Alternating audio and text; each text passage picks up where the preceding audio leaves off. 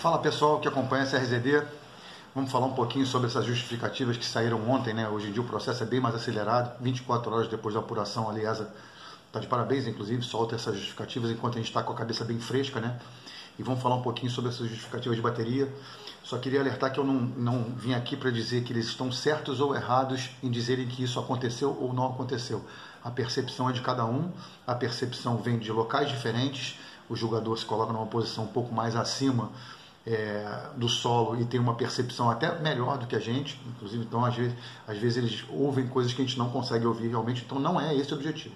É só dar uma analisada e falar um pouquinho sobre o que eles disseram. Tem coisas que a gente não concorda, mas não que eles não tenham ouvido, mas que não deveriam ter escrito algumas coisas. Vamos falar sobre isso primeiro jogador, Rafael Barros Castro, que estava no módulo 1, né, o módulo duplo, ele despontou a Porto da Pedra e a Portela, tirou um décimo de cada uma. É, e a Porto da Pedra ele fala que a sonoridade da bateria ficou comprometida pelo volume da fantasia. Né? O chapéu da Porto da Pedra era um chapéu é, de lã, era um lobo, um lobisomem de lã que cobria as costas, esquentava demais e abafava realmente o som da bateria. Isso pode acontecer. Inclusive no primeiro módulo ainda já tinha gente passando mal e sendo atendida. É, são, são coisas que já há algum tempo a gente não vê acontecendo em bateria, né? volume de, de, de fantasia ou chapéus dessa forma, ou fantasias que abafem o som, mas aconteceu e a gente não pode nem culpar o, o Pablo, nem ritmistas, nem diretores, porque não foi ele que fez a fantasia.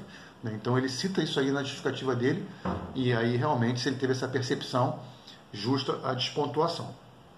E ele também despontua a bateria da Portela, e aí ele começa falando que é, a afinação grave das marcações de primeira e segunda favoreceram o enredo afro. Eu não consegui entender o que, que ele quis dizer com isso. Por que, que uma afinação favorece o enredo afro ou não? E logo a bateria da Portela, que tem as marcações menos graves, ou uma das menos graves do grupo especial. São afinações geralmente mais altas, o Nilo Sérgio gosta muito disso. É, a característica deles, ele cita que favoreceu o, o enredo afro. E aí ele emenda dizendo que a sonoridade das terceiras é, no referido. É, porém, as terceiras careceram de referido destaque, causando assim uma defasagem na timbragem da bateria. Aí, ok, ele pode ter tido essa percepção das terceiras não terem tido o destaque necessário dentro do conjunto da bateria. Não sei se ele achou que, era um, um volume pequeno de terceiras, não sei se ele achou, ele também não especifica se era uma afinação muito alta ou muito baixa, mas aí, ok, é a percepção dele. Não entendi a primeira parte da justificativa, a segunda, ok. E ele finaliza lá na, no, nos comentários finais, nas observações finais, ele parabeniza todo mundo, ele fala de, fala de andamento, a importância de se manter o andamento, ele usa a palavra cadência, inclusive, que está no, no, manual do jogador, essa palavra. Ele elogia a utilização de instrumentos é, é, complementares, né, como atabaques, que hoje em dia até pelos enredos, pela quantidade de enredos de temática afro, muita gente tem usado para as bossas e para as levadas.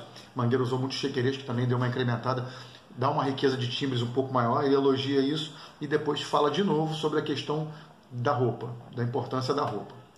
A segunda jogadora, Mila Schiavo, que estava no mesmo módulo, abaixo dele, no modo duplo, é, é uma jogadora que no ano passado atribuiu 10 a todas as escolas, o que a gente não concorda, porque aí não é julgamento, né?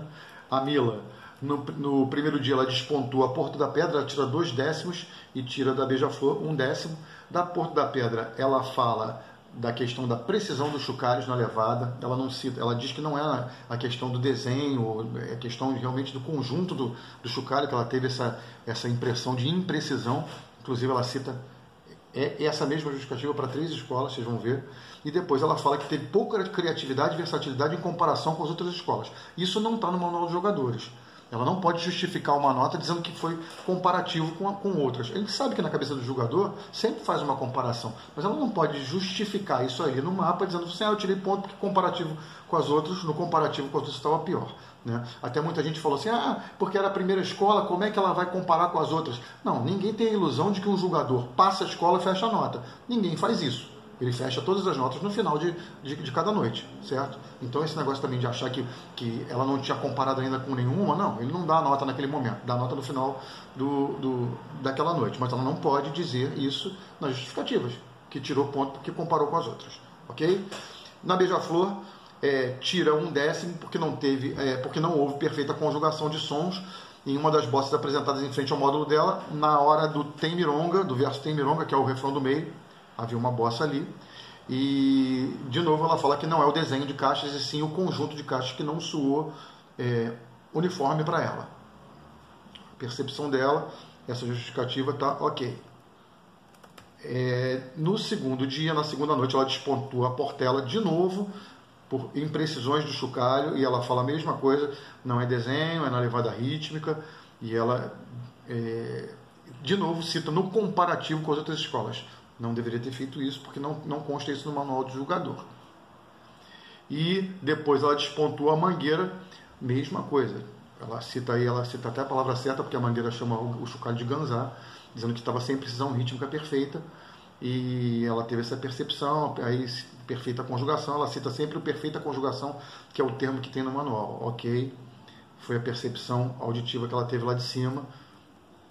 Ok, no final, nas observações finais, ela agradece a Eliezer pela confiança e de novo cita a, a, a, parte do manual que diz da conjugação perfeita entre os naipes, que foi da onde ela despontuou mais vezes as escolas.